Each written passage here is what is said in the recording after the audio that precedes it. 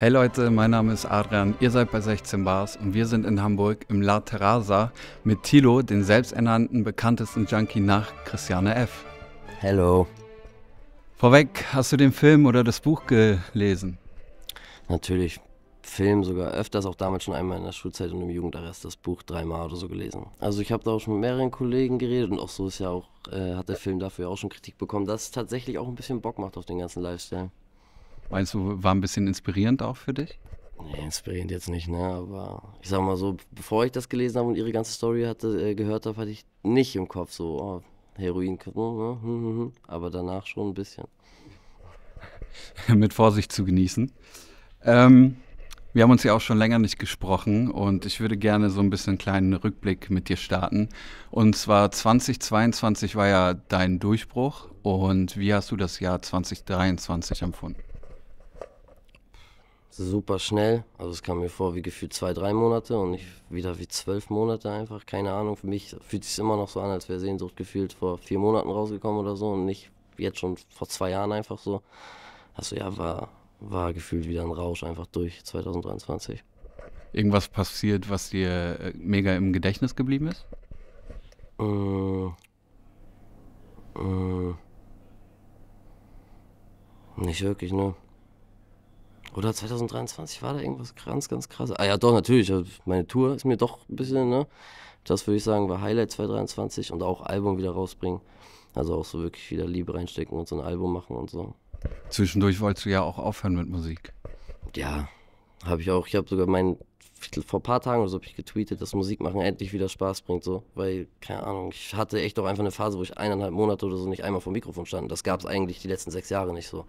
Deswegen war ich ein bisschen so, ah, ist Musik noch das Wahre, aber jetzt einfach ein bisschen wieder mehr experimentell und nicht nur die gleichen Hip-Hop-Beats die ganze Zeit, jetzt bringt es wieder Spaß. 2024 hast du jetzt quasi geplant, weed-free zu bleiben. Wie klappt das bis daher? Bis jetzt klappt es gut. Welcher ist heute? Äh, ich glaube, der 10. Der 10. Januar. 10 Tage Drug, äh, also weed-free? Yes. Und auch alle meine Freunde. Wir haben sogar Wetten und so aufgestellt. Bis jetzt alle durchgezogen. Äh, dein Leben ist aber ja auch äh, geprägt von mehreren Substanzen. Wieso ist es Weed geworden?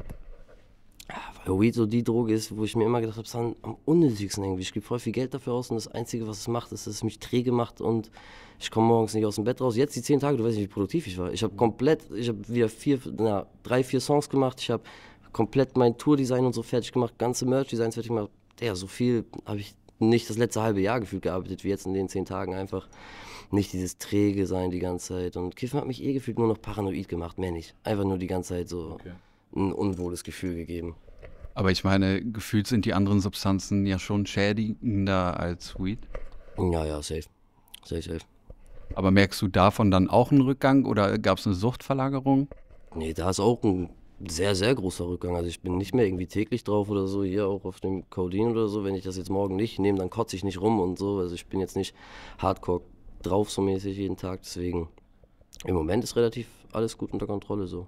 Wie war es denn so mit äh, Einschlafproblemen? Man kennt es ja, wenn man aufhört mit Weed, dass man erstmal nicht einschlafen kann. Ja, war bei mir nicht so ein großer Unterschied, weil ich habe die krassesten Schlafstörungen überhaupt, seitdem ich zwölf bin oder so. Also für mich war das auch damals schon immer noch richtig normal, dass ich so die Nacht durchgemacht habe, dann halt morgens zur Schule gehe und dann, wenn Schulschluss ist, pennen gehe und dann wieder den ganzen Tag pennen und so. Und genauso wie jetzt. Ich bin auch jetzt schon wieder seit gestern wach. Ich habe wieder die ganze Nacht nicht gepennt, deswegen werde ich wahrscheinlich nach dem Interview auch schlafen gehen. Ich finde es auch manchmal echt entspannt, weil die Nachtzeit ist so eine geile Zeit. Da fühlt man sich so gefühlt so Zeit für sich. Da ist nicht die, das Handy die ganze Zeit am rumbabbern und so. Du bist halt gefühlt der Einzige, der wach bist. So.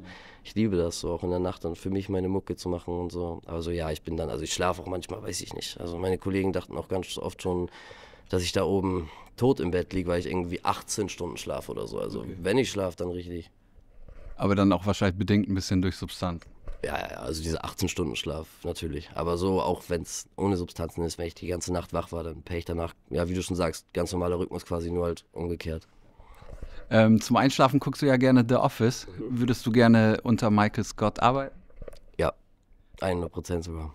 Hast du eine Lieblingsfolge? Mm, mm. Boah, nee. Ernsthaft nicht, weil die Serie zu krass ist. Kann ich auch echt nur jedem ans Herz legen, wenn ihr The Office noch nicht geguckt habt. Wirklich, es ist gefühlt in jeder Folge ist irgendein Meme, was du im Internet schon mal gesehen hast. Es ist wirklich crazy.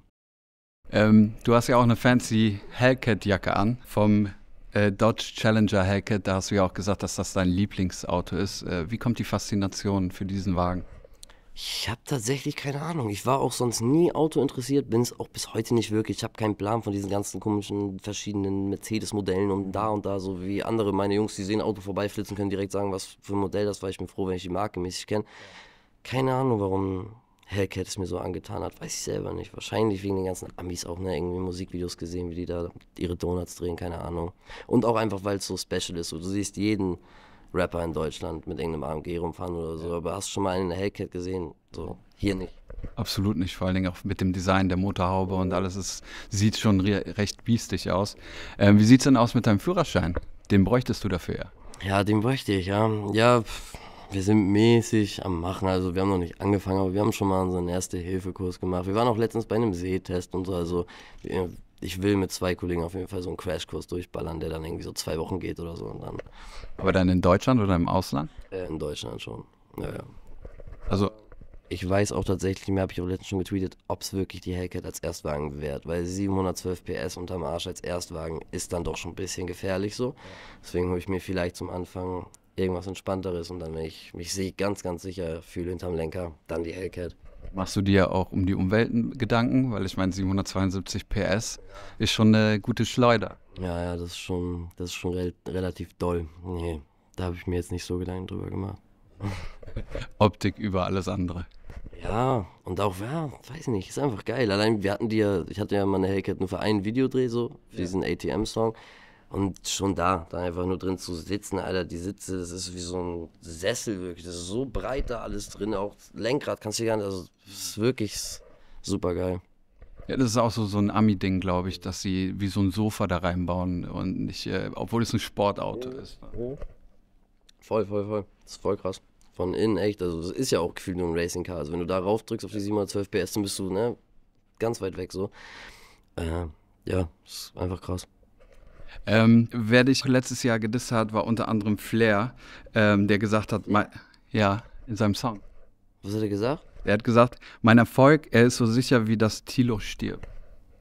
Chillig, Digga. Shoutouts an Flizzy. In meinen DMs warst du irgendwie netter. Also früher wollte er auf jeden Fall mal ein Feature und für mich kochen und so, aber krass, krass, dass das dann auf einmal in seinen Texten kommt. Okay, chillig. Wie sieht so ein Dinner mit Flair aus? Kann ich mir nur vorstellen, keine Ahnung, aber. Du hast doch gerade gesagt, dass das passiert nein, ist. Nein, nein, das, nein, nein, das Dinner ist nicht passiert, das ist passiert, dass er mich eingeladen hat zum Essen. Nein, nein, nein, ich habe jetzt noch nicht. Er wollte zu Hause für mich und meinen Manager kochen, bei sich zu Hause. Aber es ist noch nicht passiert. Ist er wohl äh, auf den Zug mit aufgesprungen, dich zu dissen. Aber ähm, vor allen Dingen ist es halt immer dieses Thema Junkie, was die Leute da dir anprangern und womit die dich dissen wollen. So nervt dich das so langsam? Ja, geht. Langsam hat man sich dran gewöhnt, ne? Ich frage mich zwar immer noch so teilweise, warum das bei mir so schlimm ist. Ne? Und bei anderen, die genau das gleiche machen, ist es cool. So. Andere Leute werden dafür gefeiert, dass sie jeden Tag Macker, also Lean und so in ihrer Story haben. So, das ist gefühlt deren ganze Existenz so, diese Droge. Und bei mir ist es halt totschlimm, wenn ich sowas mache, keine Ahnung. Und auch so, das finde ich immer am wildesten, wenn mir irgendwie Leute mit Juice WRLD Profilbild oder so schreiben, dass ich ein dummer Junkie bin. Dann denke ich mir, Bro, dein Idol, Digga, war noch ein bisschen more on that shit, so. Aber nee, also habe ich mich dran gewöhnt, jetzt über die letzten drei Jahre sollen sie doch sagen, was. Zum Thema Sucht äh, hast du dich auf Twitter auch äh, geäußert, dass Suchtkranke sind oft die liebsten und verständnisvollsten Menschen von allen. Junkies über BWL Just, Justus und Fußball Justin. Ja, ja, voll. 100 Prozent, 100 Prozent. Ich sag Menschen, die so durch den Dreck gegangen sind, die das alles erlebt haben, glaub mir, das sind meistens die besten Seelen überhaupt. Zu 100 Prozent so. Wirklich, auf jeden Fall besser als irgendein, wie ich da schon geschrieben habe, BWL-Justus, der irgendwie sein ganzes Leben wunderschön durchlebt hat. Glaub mir mal, so ein Junkie ist da ein bisschen mehr Herzensmensch so. Was glaubst du, woran liegt das? Keine Ahnung, keine Ahnung. Vielleicht weil, ich weiß wirklich nicht. Vielleicht weil ein Abhängiger sich auch irgendwie mehr mit sich selber beschäftigt und so. Also ich keine Ahnung. Aber irgendwie sind es meistens die lieberen und ehrlicheren, herzvolleren Menschen so.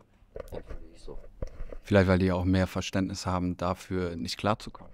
Genau, das eben auch so, ne? Die haben eher ein Verständnis dafür, so als irgendein Mensch, der noch null Berührungspunkte damit hat, der immer noch denkt, irgendwie, drogensüchtig sein ist eine Sache, die man sich aussucht oder so und auch einfach mal kurz so wieder sein lassen kann. So gibt es ja wirklich Menschen im Internet, die echt denken, so man sucht sich das aus. So, jetzt hör doch einfach auf. Bro, leider nicht so leicht. Hast du mal einen BWL Justus oder einen Fußballspieler Justin äh, getroffen und äh, irgendeine Situation gehabt mit solchen Leuten? Stimmt, in meinem Leben, ja, irgendwann mal, klar. Auf meiner Schule gab es auch solche Jungs. Vor allem, als wir später noch auf der, wie heißt das, äh, Berufsschule waren, wo man so gefühlt auch, nicht gefühlt, also keine Ahnung, ich war da 16 oder so und hatte auch in der Klasse Leute, die 24 waren und so. Und gerade da hat man viele so auf dem Schulhof gesehen, ja. Ich weiß auch noch an eine Situation, erinnere ich mich ganz doll. Äh, schau da zu meinem Bruder David, der wird es auch noch wissen. Ich nenne jetzt keine Namen, aber äh, die biggest, ja, wie sagt ja, kann man schon so sagen, Streberin, sag ich mal, aus unserer Klasse damals. An diese Situation werde ich mich immer erinnern. Die hat damals irgendwann mal im Unterricht so zu mir und auch zu meinen Kollegen gesagt, so, ihr werdet alle mal unter der Brücke landen, bla bla, ihr Drecksassis und äh, äh, äh, äh. Ja, fand ich lustig, weil jetzt, wir sind nicht unter der Brücke. Hast du die Unbekannte mal wieder gesehen? Leider nicht, leider nicht. Habe ich sogar letztens noch, äh, ja, ich glaube zu David gesagt, ich hätte voll Bock, die mal alle wiederzusehen, einmal kurz so aus der Klasse. Aber leider, es war sogar mal irgendwie so ein Klassentreffen in Planung, aber hat irgendwie dann nicht stattgefunden. Ja, dann Daumen drücken, dass es vielleicht doch nochmal stattfindet und dann kannst du da nochmal richtig auftrumpfen. Ja, also die meisten wissen da ja eh, was ich mache jetzt so, ne? Aber ja, wäre lustig, die alle mal wiederzusehen. Aber wie würdest du dich dann verhalten? Ganz normal. Also 100% ganz normal. Ich bin da jetzt nicht so der Kerl, der. Ich bin das und das, gar nicht. Nee, nee, aber ich meine, hast du nicht ein bisschen das Verlangen, ihr das ein bisschen unter die Nase zu reiben? Nee, ich glaube, das hat die schon mitbekommen. Alles gut. Mein Blessing, dass ich weiß, ich muss nicht zur Arbeit gehen und so. Und sie schon, obwohl sie die Schule durchgezogen hat und ich nicht. Alles gut. Ja, einfach in Stille und äh, dann weißt du Bescheid. Ähm, Paula Hartmann-Feature steht vor dir. Ja, finde ich sehr geil. Wie ist es dazu gekommen? Paula hat sich einfach äh, bei mir gemeldet und hat gefragt, ob ich da auf einen Song raufhoppen würde. Und wie ich gestern in der Audio von ihr erfahren habe, hatte sie sich sogar vorher gar nicht so krass mit meiner Musik auseinandergesetzt. Sie meinte, sie kannte nur die Hits, aber hat dann Interviews von mir geguckt und so, alles auf YouTube sich ein bisschen durchguckt und fand mich halt so sympathisch und so, dass sie gesagt hat, komm, scheiß auf diese ganzen Skandale und die Cancel Culture und so. Ich hole mir den mal auf den Song. Was ist deine Lieblingsline von Paula Hartmann bei dem Song? Bei dem Song? Ja. Äh, boah, das ist viel, was ich cool finde. Sonst kannst du auch ein bisschen mehr Preis geben. Ich sag nur zwei, drei Wörter oder so, weil die finde ich sehr cool. Also das kann man nicht beschreiben, aber wie sie das dann im Song rüberbringt, das kommt so krass. Einfach nur äh, Hero-Look, Straßenköterblond. Also, merkt ihr das? Glaubt mir, nur dieses Hero-Look, Straßenköterblond. Wie sie das auf dem Song, boah, generell wie die singt, ist Endlevel. Also wirklich, das ist Endlevel so. Deine Lieblings-Paula Hartmann-Line allgemein? allgemein. Ähm, ähm, Kalender voll mit Menschen, die ich eigentlich gar nicht mag. Von ihrem Song, oh, ich weiß nicht mehr, wie der heißt, aber ja, das ist, glaube ich, meine Favorite Line. Hast du auch oft das Gefühl, das äh, quasi genauso zu sehen wie sie? Nicht oft. Früher noch mehr, also was heißt früher? Zwar so vor zwei Jahren, 2022, so mega Halbzeit, da noch mehr, safe, so, weil da hängt jeder am Arsch so und alle wollen was von dir. Äh, aber mittlerweile nicht mehr, ne? mittlerweile suche ich mir einfach straight aus, was ich machen will und wenn ich darauf keinen Bock habe, sage ich nö. Aber zu dem Projekt kommt ja auch nochmal eine Live-Akustik-Version. Willst du mir dazu noch ein bisschen was erzählen? Ja, also so viel ich weiß, ist da irgendwie 50-Mann-Orchester geplant für Paula und mich. Und dann sollen wir da den Song einmal ja quasi live performen. Und das kommt dann, glaube ich, auf YouTube so als Video quasi. Hast du das bis auf das eine, was wir mal mit Band mit dir gemacht haben, schon mal wiederholt? Nö. Aber ich hätte mal wieder richtig Bock drauf. Vor allem mit Band. Das war so krass, Alter. Ja, dann sollten wir das vielleicht mal zum nächsten Album oder irgendwann mal angehen nochmal. Sehr, sehr gerne, sehr gerne sogar, wirklich. Das war richtig geil. Dann haben wir jetzt auch ein Date für dieses Jahr nochmal. ähm, letztes Jahr ist auch dein Getränk rausgekommen, Tilsen. Wie zufrieden bist du da? Sehr zufrieden. Vor allem, was die Resonanzen angeht. Gefühlt der einzige Mensch, der mir dazu negative Feedback gegeben hat, war meine Oma, weil der das zu süß war, irgendwie, keine Ahnung. Aber sonst wirklich alle top, top, top, top, top. Und auch Leute, die Plan haben von Cream Sodas. Weißt du, so, ey, wenn Mr. Moneyboy postet, so, das ist Moneyboy approved. Das ist schon ein sehr großes Kompliment. Aber du hattest ja auch so ein bisschen Probleme, in Einzelhandel zu kommen und ich glaube, gibt es immer noch nicht, oder? Was ist da schiefgelaufen? Es gibt ein paar, ich glaube, ja, ein paar Edekas und so und auch, äh, es wird immer mehr und auch so in Spätis und so, also so, ja, Dingern da. Irgendwie gab es auch mal ein Gespräch, äh, dass sie das irgendwie bei, ich weiß nicht, Rewe oder Kaufland oder so hinstellen wollten. Da hätte ich dann aber so eine Autogrammstunde machen müssen irgendwie und bla bla bla. Da hatte ich dann nicht so Bock drauf und so. Aber es läuft und vor allem die Resonanzen, die sind einfach perfekt und das freut mich sehr wirklich.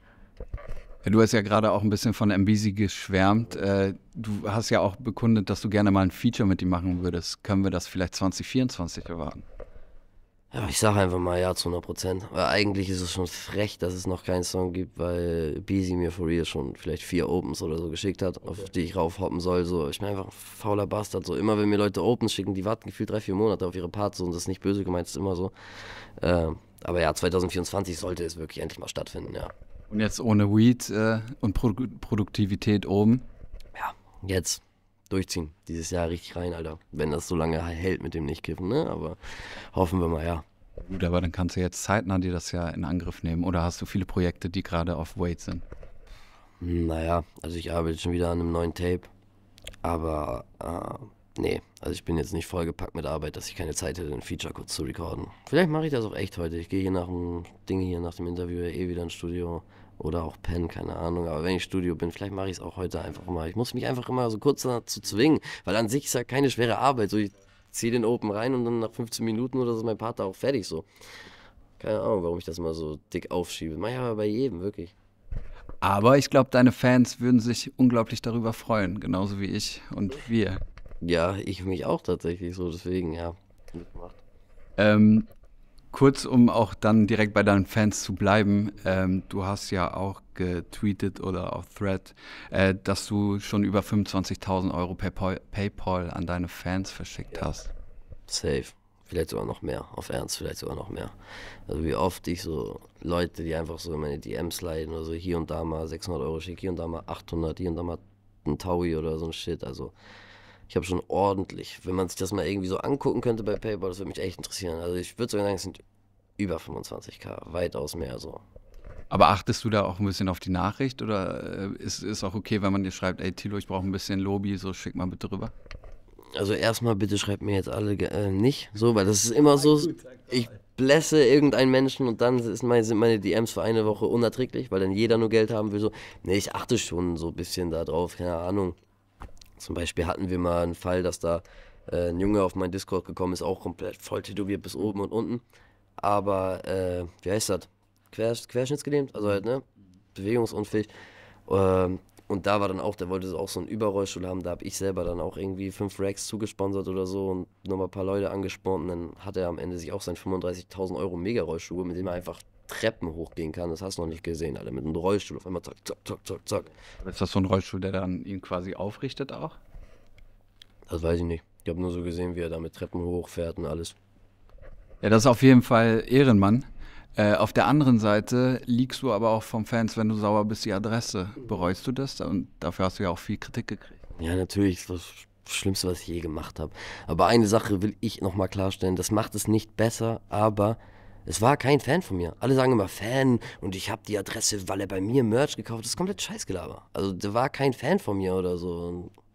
Also, das einmal klarzustellen. Ja. ja, ja, um das einmal klarzustellen. Ich bin nicht irgendwie bei mir in die Merch-Sachen gegangen und habe irgendwie geguckt, wie der heißt oder so. So war es tatsächlich nicht. Ein anderer Rapper hat ihn gesnitcht. Ich sage jetzt keine Namen so. Aber der war kein Fan von mir. Das macht die Sache nicht besser. So auch Hater, ne, muss man nicht die Adresse posten und sagen, jump him. So, ich hab's ja auch nach eineinhalb Minuten direkt wieder deleted und gedacht, was hab ich da gerade gemacht, Alter. Aber dann war es halt zu spät. Ne? Internet ist eine Sekunde online und hast es getan so. Ja, im Internet geht auf jeden Fall äh, schnell. Wie gehst du denn allgemein noch mit Hatern um? Es gibt ja immer, also es gibt viele Fans, es gibt viele Hater. Ähm, es juckt mich nicht wirklich.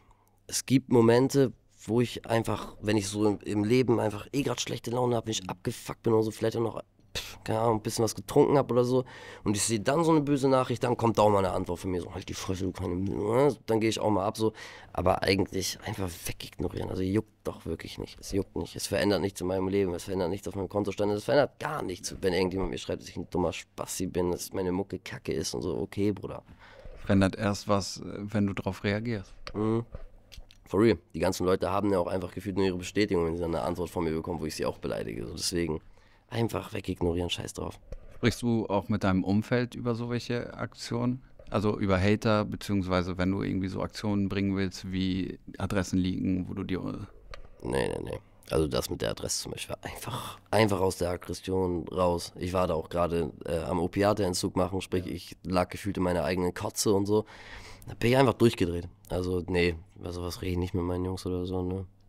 Hast du denn äh, in deinem Umfeld auch Leute, die dir von Sachen abraten? Ich meine, einmal hast du dich darüber aufgeregt, dass du orangene Haare hattest im Musikvideo und gesagt hast, ey, warum hat mir keiner abgeraten? Oder vielleicht jemand, der sagt, ey Tilo, komm, also vielleicht mal nicht so viele äh, Sanax. Ja, ja, doch, doch, 100 Prozent. Also in meinem Kreis passen alle auf, wirklich. Auch bei diesem, zum Beispiel bei diesem Absturzauftritt, den ich hatte da in Magdeburg, dieses Skandalauftritt, sag ich mal, da war es auch so. Im Backstage wollten mir, haben alle gesagt, ey, jetzt die verfickte Flasche her, hör mal auf, du bist schon komplett rotzevoll, reicht langsam so, aber dann bin ich da halt durchgeredet, äh, ihr seid nicht meine Eltern, als Maul, gib mir die Flasche und so. Also ich habe schon Jungs um mich, die darauf achten und ja auch so, ne, meine Mom, Management und alle. Aber hattest du auch äh, viele Ja-Sage in deinem Umfeld? Ich meine, dein Umfeld profitiert ja auch ein bisschen finanziell von dir, weil du auch sehr spendabel bist.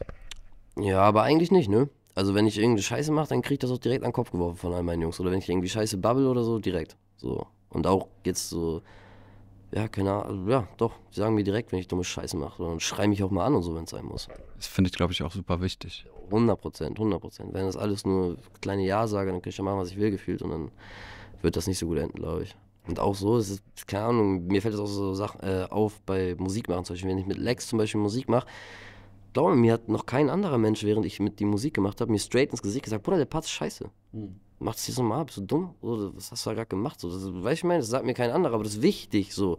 Weil ja, er hat recht. Part war scheiße, mache ich neu viel geiler auf einmal. So, und deswegen so, nee, die ganze Zeit nur mit, mit Ja-Sagern so zu sein, ist nicht gut. Dir muss auch mal gesagt werden, wenn du irgendwas falsch machst oder was, was nicht so geil ist oder so. Also zu dem Thema bitte nimm mir das nicht übel, aber manchmal hatte ich das Gefühl auch, äh, du bist ein schneller Schreiber mhm. und ich kenne ja auch deine älteren Sachen so, die neu, bei den neueren Sachen hatte ich manchmal das Gefühl so, ey, der hat das nur hingeklatscht und ich weiß, der kann das besser.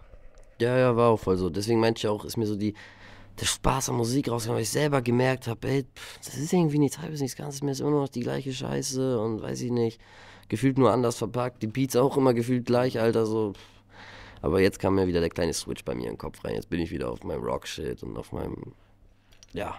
Gehst du dann nochmal in Songs, die eigentlich fertig sind, nochmal rein, um noch mehr rauszuholen? Mm -mm, eigentlich nie, wirklich. Da bin ich gar nicht so. Ich weiß, voll viele machen das so. Ne? Beispiel mein Kollege Lex auch, also der, weiß ich nicht, Alter, bevor der da die erste Version rausgespeichert hat, weiß ich nicht, hat sich im Projekt zehnmal was verändert, so mäßig, weißt du? Und bei mir ist echt so, wenn ich einen Song anfange, dann beende ich den auch direkt. Und dann ist der entweder cool oder nicht. Aber bei mir ist nicht so, dass ich irgendwie nach drei Tagen nochmal ins Projekt gehe und dann da nochmal was ändere und dann in einer Woche nochmal und so. Noch nie gemacht. Aber glaubst du nicht, dass du dann noch mehr rausholen könntest? 100 Prozent. Äh, safe, aber ich glaube, dann kannst du dich auch verrückt arbeiten. Wenn du immer wieder denkst, oh, der kann noch geiler, der kann noch geiler, oh, ich ändere doch nochmal die Line und doch, oder irgendwann ist gut, dann, weißt du, irgendwann muss das Projekt auch fertig sein mäßig. Ja, dann vielleicht eine Faustregel noch mit, ey, maximal zweimal gehe ich da rein. Ja, ja, sowas könnte man machen. Aber da bin ich auch zu faul für. Also, also, nee, nicht zu faul zu Dings. Wie heißt das? Wie heißt das? Ich, ich kann nicht warten. So, wenn das Ding aufgenommen ist, dann bounce ich die Spuren raus, schicke das direkt zu äh, Consent, damit er das Mix so mastert. Und ich will es am liebsten schon in der nächsten Stunde fertig zurückhaben, so um hören zu können. Deswegen wäre bestimmt manchmal gut, also ich habe auch manchmal dieses, dass ich Songs von mir höre und dann denke so, damn, an der Stelle wäre das viel cooler gekommen, hätte ich das und das gesagt oder so. Aber egal, Musik ist ja auch eine Momentaufnahme, ne? Und wenn es in dem Moment dann halt so war, dann ist es so. Äh, du hast ja auch gerade davon gesprochen, dass es immer wieder die gleichen Beats sind. Äh, und letztes Jahr in der Story hast du gepostet äh, den Song Last Night von Morgan Wallen mhm. und äh, äh, geschrieben, dir fehlt sowas in Deutschland. Hast du sowas schon mal ausprobiert? auf so einen Beat zu gehen? Ich wollte es ausprobieren. Shoutouts an Kira. Ähm, der hatte mir sogar ein Pack geschickt mit so Country-Gitarren, bla bla und so. Also der hatte mir schon mal Beats fertig gemacht, nur ist mir dann echt aufgefallen, Alter, auf Country Musik zu machen. Also so Country, Digga, ist tausendmal schwerer als gefühlt alles andere. Auch wenn man sich das so, wenn man stellt sich das einfach vor, aber weil es so ein einfacher Sound ist, aber gerade das macht es schwer. So Country lebt quasi nur von der Gitarre so und dann musst du das alles den Rest selber machen so. Also ich hab's mal, also ich wollte es mal machen, aber es ist wirklich nie, glaube ich, zu einem richtigen Country-Versuch von mir gekommen oder so. Aber ich feiere Country auf jeden Fall dumm, Alter. Vor allem Morgan Wallen, Luke Combs, äh, Legenden, die beiden. Hast du das Video von Drake gesehen, wo er mit drin ist? You Broke My Heart? Äh, weiß ich nicht. Glaub nicht. Ja, dann guck dir das mal an. Das ist ganz am Anfang in der Szene sitzen sie genauso wie wir im Restaurant. Von Morgan Wallen? Ja, Morgan Wallen und Drake sitzen zusammen. Nee, der Song ist von Drake, You Broke My Heart. Und Morgan Wallen und Drake sitzen sich gegenüber. So, okay. Hm, ich nicht. Ein schönes One-Take-Ding. Kann ich nur empfehlen. Guck ich mir an. Du hast auch vorhin schon gesagt, dass deine Zahlen natürlich was ganz anderes sind, als äh, 2022 vor Sehnsucht rausgekommen ist. Ähm, du hast aber auch äh, geschrieben, ich werde niemals 1000 TikToks drehen und rumtanzen, um meine Mucke zu promoten. Einfach kurz Insta-Story drücken, äh, die Kacke und wer hören will, hört halt. Äh, ist es immer noch dabei geblieben? 100 Prozent. 100 Prozent. Und ich rede dabei auch übrigens nicht über Leute, die irgendwie mal so ein TikTok zu ihrem Song machen oder so. Oh gut, so das ist das Game, das muss man heutzutage gefühlt machen, so damit dein Song big big wird. Aber ich sehe halt manche Künstler, die auf Ernst dann so täglich ein, zwei TikToks mit ihrem Song posten und dann wird es langsam auch einfach nur noch unangenehm so und ich fick eh nicht so mit dieser TikTok-Wave. Ich glaube, du hast auch nur zwei äh, TikToks online und die sind von Anfang letzten Jahr.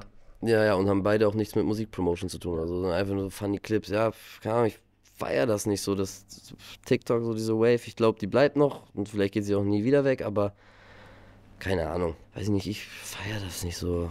Auch so, also selbst die Plattform feiere ich nicht. Ich versuche so wenig, wie es geht, auf TikTok zu verbringen, so, weil wenn ich dann mal da drin bin, bin ich gefangen. Ne? Und dann Stunden vor meinem Handy und ich weiß, dass das Kacke ist. So.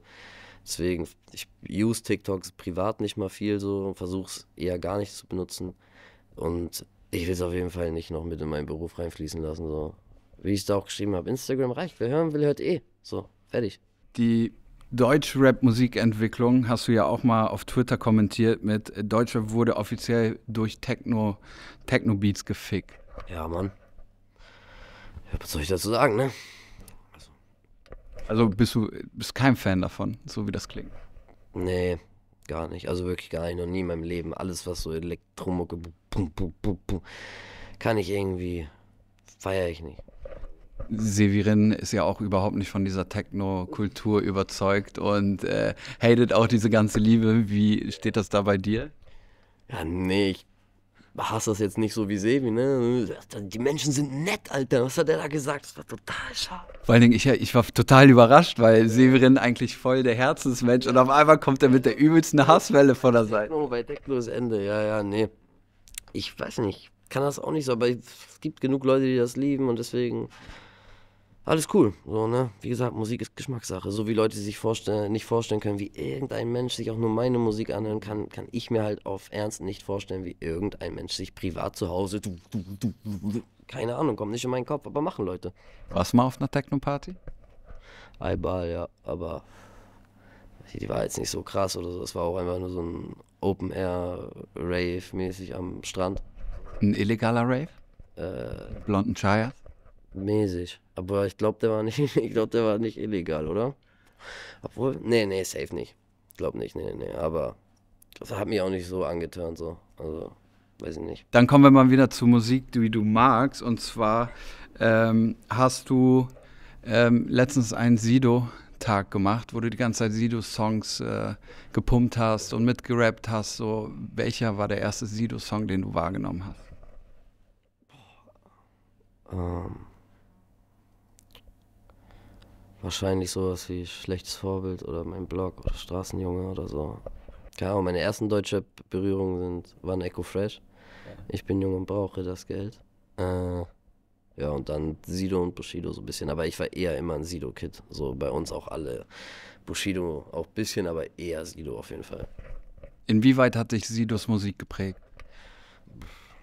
Also jetzt in meiner eigenen Mucke nicht, aber vielleicht halt so früher ein bisschen so als Kind. Hat mich vielleicht schon ein bisschen auch verleitet, auch ein bisschen ins Asozial sein, kann schon sein. aber. Wie alt warst du da? Wie alt war ich da? Keine Also wirklich so, wie ich mäßig denken kann. Also so jung, wie ich mich daran erinnere, da ist, war das schon in meinem Leben auf jeden Fall durch meine Eltern.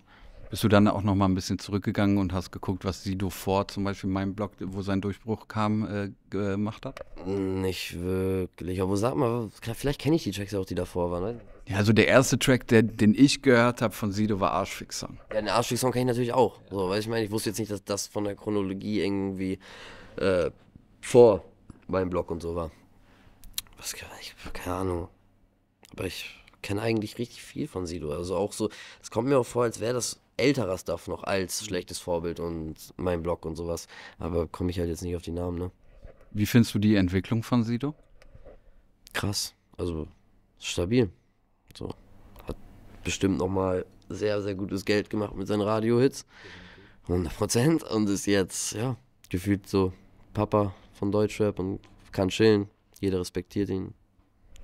Du hast ja gerade gesagt, äh, du bist mehr Team Sido als Bushido. Hast du mitbekommen, wie Bushido auf deinen Song Sucht reagiert hat?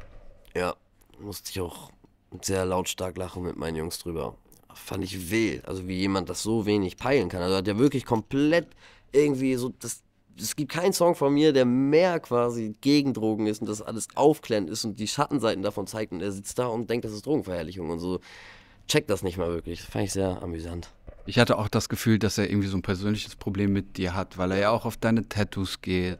Er ist komplett durchgedreht. Keine Ahnung, was ich dem Mann getan habe. Weiß nicht. Was denkst du darüber? Nichts. Also wirklich, keine Ahnung. Kann mir doch egal sein. Also. Aber macht es dich auch ein bisschen traurig, dass eigentlich jemand, der so viel Deutschrap äh, mit aufgebaut hat und quasi eine Deutschrap-Legende auch ist, jetzt so über dich äh, redet und das auch nicht peilt? Nö, Nö. Weil? Ja, keine Ahnung, wie gesagt, ich war jetzt nie großer Bushido-Fan, also war mir jetzt auch seine Meinung, also ist seine Meinung mir jetzt nicht wichtig oder so, weil ich meine, auch wenn er vielleicht auch ein, eine Legend hier ist und so, angefuckt, so, ich war nie großer Bushido-Fan, also das trifft mich jetzt nicht so. Hätte sich ein Sido dahingesetzt und gesagt, ich bin, der so über mich abgerantet, das hätte mich wahrscheinlich ein bisschen getroffen, ja, weil das war wirklich so Kindheitsshit so, aber Bushido, ne, alles cool, Bro, ich kann vor die Tür ohne Polizeischutz, so, alles cool. Hast du denn mal Kontakt zu Sido gehabt? Äh, ich glaube bis jetzt noch nicht richtig. Nee, nee ich glaube noch nicht, nee. Hättest du denn mal Bock auf ein Feature mit Sido? Boah, bestimmt. Also wenn er den wenn er den asozialen alten Sido raushängen lässt, gerne. Ich hätte jetzt nicht so Lust auf ein Bilder im, wie heißt das, die Bilder im Kopf oder so mit ihm. Darauf jetzt nicht, aber auf so einen alten asozialen Sido schlechte Vorbildstyle. Leidest du auch anderen äh, Rappern quasi in die DMs, wenn du die feierst? Nee, hab ich noch, hab ich noch nie gemacht, glaube ich. Außer bei, außer bei einem Artist, den keiner kennt. Also so 10.000 monatliche Hörer oder so. Und den feiern ich und meine Jungs dumm, dumm, dumm die letzte Zeit. Nur den habe ich angeschrieben. Wie heißt der Artist? Kada. K-U-T-A. Ist ein Hamburger. Sehr, sehr krass. Wirklich richtig krass. Wie bist du auf den gekommen? Äh, ich weiß gar nicht, Lex hat mir irgendeinen Song von ihm gezeigt. Es war so ein Überhit, Alter, also wirklich richtig krasser Ohrwurm. Und dann haben wir uns so Album noch angehört und so. Und es ist alles Endlevel. Auch gerade eben hier auf dem Weg hin haben wir den gehört, den Jungen. Also der ist überkrass. Also ist ein Feature mit ihm auch geplant? Geplant bis jetzt noch nichts, ne, aber also ich werde zu 100% down, gerne, gerne. Er ist richtig krass. Ähm, Jan Kira hat mal getwittert, deutsche Rapper spielen gutes, äh, gute Songs sind Lava im Studio. Du hast geantwortet, äh, ich, ich, spiele Counter-Strike und Minecraft im Studio. Ähm, wie, siehst du, wie, wie, siehst du das mit den Deutschrappern? Wie, was, was, was, was, was sie da machen oder was? Also ich meine, gute Songs, äh, also gute Songs sind Lava, bedeutet ja quasi, dass die Rapper, äh, ja genau, keine guten Songs machen wollen, weil sie sich sonst verbrennen. Ja, ja, ja, okay, aber Nee, sehe ich nicht so.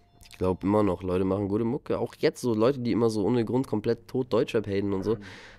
Chillt mal. Also wir haben auch echt hier gute Musik und auch gute Rapper und so, deswegen. Ja gut, aber du bist ja auch einer von ihnen, wenn du sagst, äh, Deutschrap wurde von Techno-Beats äh, gefickt. Ja, ja, also halt, ich meine, diese, gerade diese Wave, die gerade kommt, ne, und dass auch wirklich alle diese Wave mitmachen, weißt du, so, ich meine, gönn doch einfach Agu seinen Erfolg, so, weißt du, da ist doch alles cool, so, lass Chiago das machen, aber warum auf einmal alle, so, weißt du, so alle switchen und sind auf einmal mehr auf du, du, du, du, du, du, du, keine Ahnung. Aber ich glaube, es ist auch halt wieder so eine Welle, geht auch wieder vorbei, ne? Aber bist du einer, der so Disco-Party-Sahne pumpt? Nein, noch nie Leben gehört. Okay, aber sonst andere Songs von Chiago, weil Chiago gibst du ja gerade den Platz, Deutsch äh, Techno-Beats zu benutzen. Ja. Ja. Weil? Weiß ich nicht, ich finde, der ist, weiß nicht, ist einfach ein sympathischer Kerl. Bei ihm kommt es auch, finde ich, echt rüber. Also, weiß ich mal, dem glaube ich auch, dass der wirklich in Berlin irgendwie auf so Raves ist und ordentlich Party macht und hier und richtig losgeht so. Deswegen, da ist wenigstens echt. Plus ist Agu, wenn man richtig hinhört, ein krasser Lyriker. Also der kann sehr krass schreiben so. Und auch alte Songs von ihm. Wie hieß der nochmal? Ich glaube Gustav oder so. Er hat eins, das ist so, das hat er so Storytelling über so einen Zugezogenen in Berlin gemacht und so. Da ist mir erst recht aufgefallen, der ist richtig stark lyrisch. Äh, und halt auch stark auf Nicht-Techno-Beats. So. Aber für mich ist er der Einzige, wo man sagen kann, komm, der macht das vernünftig, der macht das gut, der hat so ein krass, der, der hat sich Otto Walkes auf den Song geholt. So, weißt du, wie ich meine? Alles cool so, aber das ist halt alle diese Wave-Schiene fahren, so alle, ja, fahre ich nicht so. Wenn Chiago morgen dir in die DMs slidet und sagt, ey, guck mal, ich hab da was, äh, möchte, dass du da mit drauf hüpfst und es ist ein Techno-Beat, würdest du es tun? Nein. Also wirklich 100% nicht. Konsequent, in dem Sinne. 100% nicht, ja. Äh, du hast ja auch gerade von Otto gesprochen, ähm, der quasi importiert wurde in Deutschrap. Äh, Udo Lindenberg hat ja auch seinen Platz neben Apache gefunden. Gibt es irgendeinen Song, den du quasi covern würdest oder mit einem Künstler zusammenarbeiten würdest für, für eine neue Interpretation?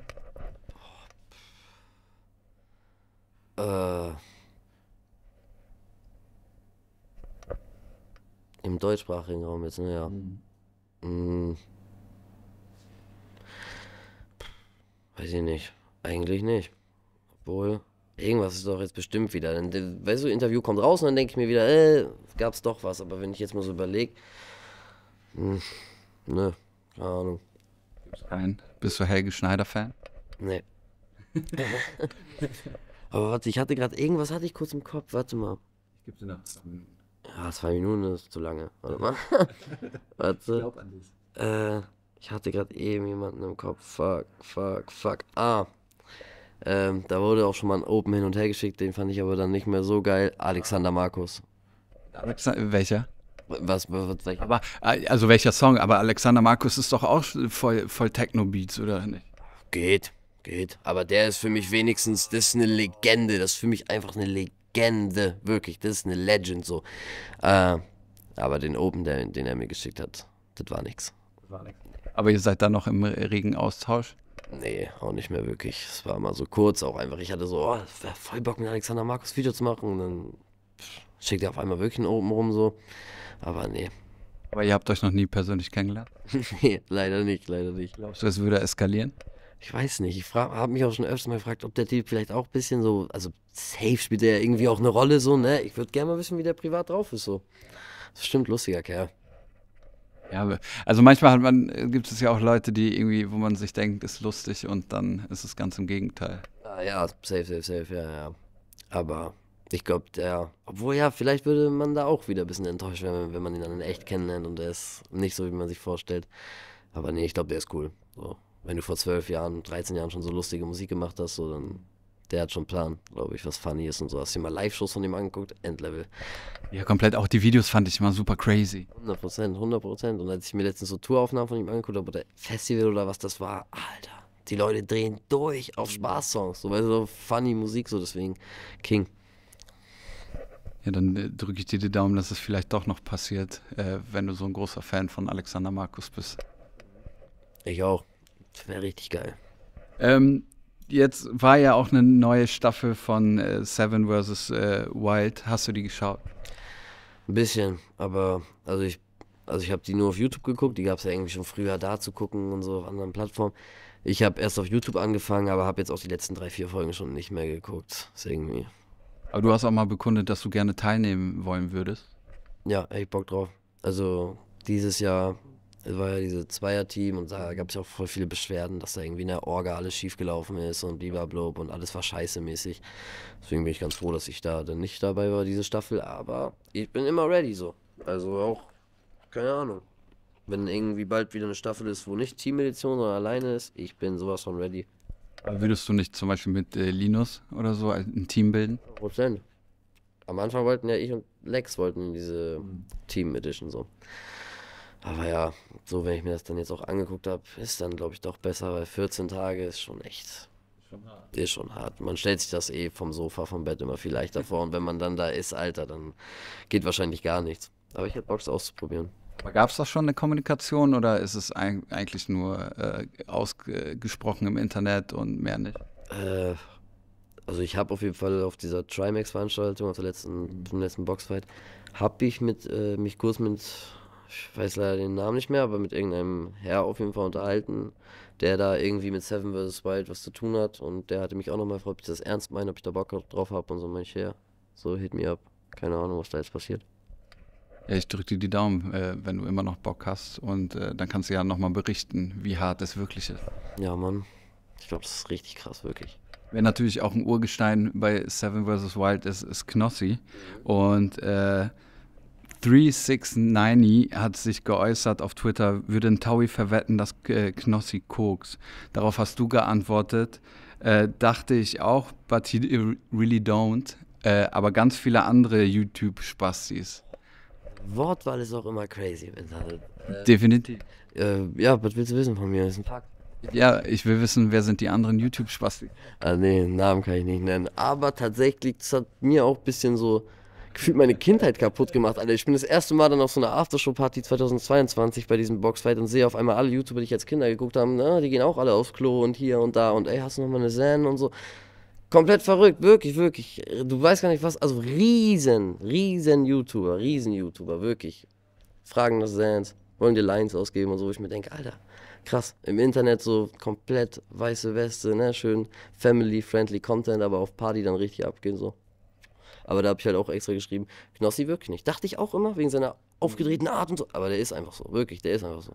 Zum Abschluss ähm, hast du, du hast letztens geschrieben, äh, dass du letztes Jahr mehr in Italien als in Itzehoe warst und äh, du denkst, äh, dass es sehr beautiful ist. Was steht urlaubstechnisch dieses Jahr auf der Agenda? Ja, Italien eh wieder. Also ich habe ja jetzt schon äh, so eine kleine Tradition. Also es ist jetzt schon zweimal passiert, dass ich Ende des Jahres mit meiner Mom so einen Urlaub in Italien mache. So. Äh, aber ich gehe bestimmt auch wieder mit den Jungs. Ah, und wir wollen dieses Jahr endlich mal unseren äh, America-Trip machen. So.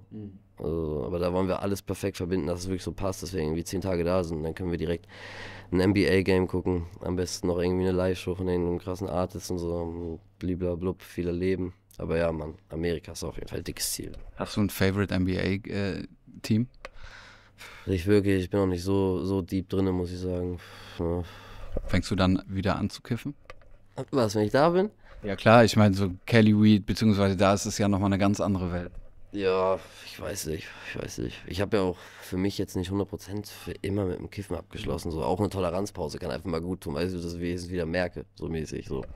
Deswegen, ich denke, irgendwann werde ich bestimmt wieder smoken, als ob ich jetzt mein Leben lang mir hier wieder keine anhau. So. Ich weiß selber, es wird passieren. Ich habe nur jetzt einfach keinen Bock, die Wette zu verlieren und 2000 Euro meinem Kollegen zu geben. Deswegen soll der einfach mal sich schneller einen anzünden und dann ist auch alles wieder gut. Dann kriege ich Cash und kann wieder anfangen. Ja, von meiner Seite war es das. Vielen lieben Dank. Äh, wenn du noch was zu sagen äh, hast, dann gerne jetzt und äh, vielleicht zur Tour. Ach ja, ja, stimmt. Tour ist ganz gut. Kommt zur Lidyway Tour. Ende diesen Jahres. Wird sehr wild. Ich bin sogar das erste Mal in der Schweiz, in Zürich. Ja, wird geil. Und ich bringe auch ein richtig geiles Tape dieses Jahr raus. Obwohl ich noch nicht mal Namen habe und so und auch erst drei, vier Songs stehen. Ich weiß, es wird überkrass. Aber weißt du denn schon circa, wann es kommt? Ja, wenn ich weiter so jetzt im Studio bin und weiter Motivation habe und arbeite, dann Ahnung, kann es gefühlt in drei Monaten oder so kommen, aber ich will jetzt mal nicht zu früh versprechen, deswegen sage ich mal, rechne mal mit dem Sommer einfach irgendwie Juni, Juli oder so ein Shit. Ja, vielen lieben Dank, Großer. Ich wünsche dir was.